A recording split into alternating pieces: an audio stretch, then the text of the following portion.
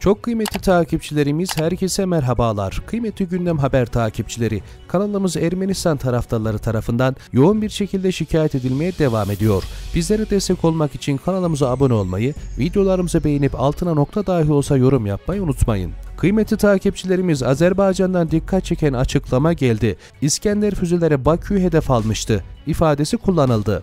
Ermenistan Rus yapımı İskender füzeleri 2. Karabağ Savaşı'nda Azerbaycan'a karşı kullanıldı.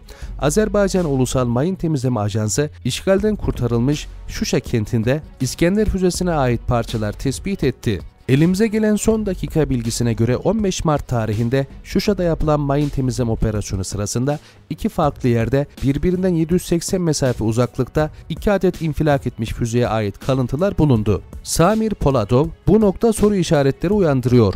Bu kadar güçlü füzelerin patlaması yüzeyde belirgin izler açar. Biz sadece bir çukur bulduk. Mayın temizleme süreci devam ediyor. Önemli bulgular elimize geldiğinde sizlerle paylaşacağız diye konuştu. Deli takipçilerimize atılan bu füzeler 480 kilo ağırlığında savaş başlığı olan Şuşa'da füzelerin tespit edildiği bölgede büyük hasar meydana gelmediğini söyledi.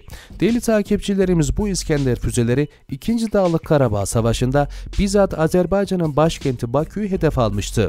Allah'a şükürler olsun ki kurdukları planlar ellerinde patladı. Allah Türkiye yar olsun.